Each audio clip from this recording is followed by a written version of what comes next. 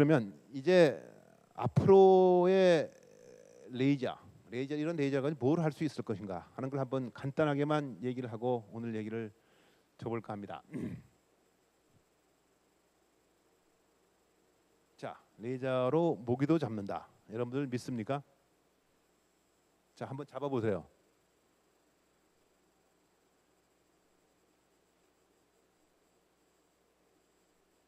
어, 어, 그걸 비춰가지고 죽는 건가?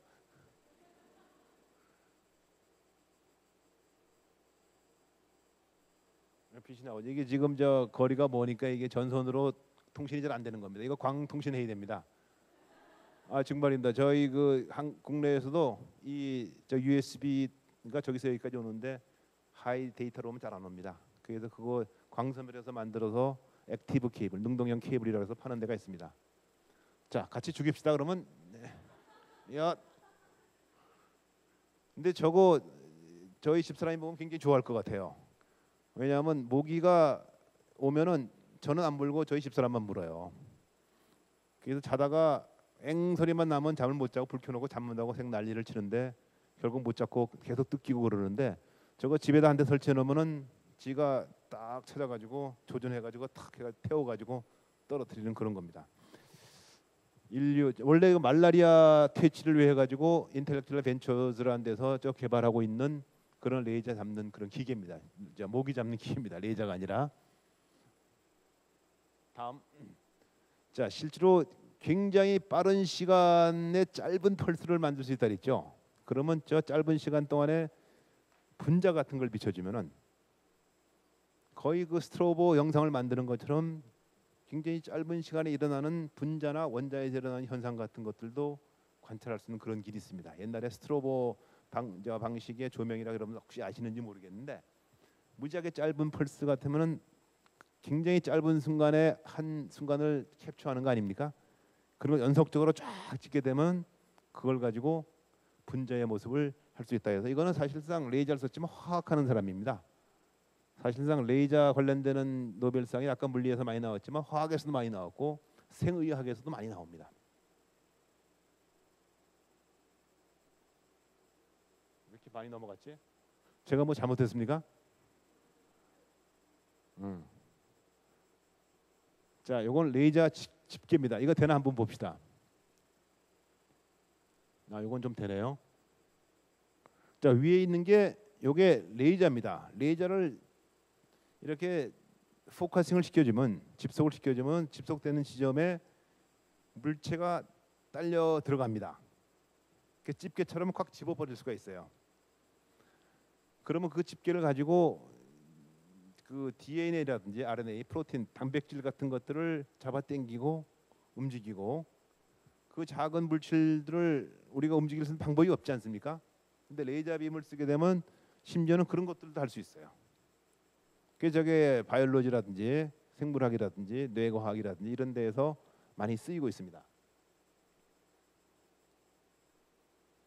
자 실제로 레이저 이거는 2014년 화학과에서 화학 관련 노벨상인데 레이저를 써가지고 형광물질하고 레이저를 써가지고 지금까지 보지 못했던 여러 가지의 자세한 내부 상황을 볼 수가 있다 하는 겁니다. 저건 레이저가 집속이 굉장히 작은 점에 집속이 가능하다는 것하고 저기에 우리가 빛을 내는 단백질을 같이 결합한 이런 것들인데 이걸 가지고 같이 결합을 해가지고 이 그림하고 이 그림 비교하면은 엄청난 차이가 있죠, 그렇죠? 사람이나 쥐나 여러 가지 동물에서 내부에서 실제로 어떤 현상이 일어나는가 현미경의 해상력을 10배 이상 증가시키는 그런 일도 레이저로 가능해집니다. 더구나 레이저를 더욱 작게 가져가서 광자를 한 개 한 개 우리가 제어할 수 있는 그런 지경이 되면은 실제로 광자가 여러분들 앞에서 혹시 제가 배우셨는지 모르지만 양자로서의 성적도 할 수 있어 가지고 실제로 양자 정보 비밀 정보 통신도 할 수 있습니다. 여러분들 이건 다 이해 못하더라도 실망하시지 마시고 이게 재래식의 정보 통신 0101 하는데 이놈은 0도 아니고 1도 아닌 놈이 회색 분자 같은 것들이 가죠. 그죠? 이게 양자의 보통 특성입니다. 그래서 이걸 가지고 하게 되면은 절대 도청이 불가능한 도청이 불가능한 비밀 통신을 할 수 있다. 이건 양자역학적으로 양자광학적으로 그 양자 상태를 카피하는 게 불가능하다는 그런 성질에서 가능한 건데 우리가 레이저를 극단으로 가져가서 단일 광자까지 가져오게 되면 저런 성질도 가능해집니다. 자, 이건 제가 한 건데 넘어가겠습니다. 자, 이제 거의 다 됐습니다. 지금까지 한 것들의 레이저의 특성을 한번 정리를 해본 건데요. 자, 이게 죽이는 칼이 될 수가 있습니다. 레이저가 살리는 칼도 될 수 있죠. 그리고 이것도 레이저는 색깔마다 다른 칼입니다. 어? 물질 속에 예를 들어서 아까 말한 대로 모기가 있다. 그럼 모기만 잡는 색을 걷다 집어넣으면 딴 건 안 건드리 모기만 잡을 수가 있어요. 칼라마다 색깔이 다릅니다. 그러니까 여러 개의 칼을 동시에 쓸 수도 있죠. 그리고 이 칼이 무지하게 날카롭게 될 수도 있고 무지하게 짧게 될 수도 있고 얇은 판이 되는 그런 그 칼이 될 수도 있고 여러 가지가 가능합니다. 그래서 여러분들 눈에 각막도 할 수 있고 그다음에 잘라낼 수도 있고 붙일 수도 있고 여러 가지가 있습니다. 그리고 이게 빛의 속도로 움직이기 때문에 표준 자로 쓸 수도 있습니다. 굉장히 정확한 자로 쓸 수도 있습니다. 그게 보면 반도체 기판을 분리하는 데 쓰고 모기 사냥, 레이저 수술, 포인터, 3D 프린터, 심지어는 입자를 가속하는 데도 쓸 수가 있습니다. 그다음에 머릿속에다 빛 비치면 미쳐버리겠지만 이게 빛 비춰가지고 치료도 됩니다.